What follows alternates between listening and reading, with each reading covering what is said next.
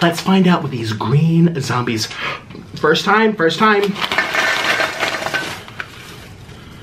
That looks like salad.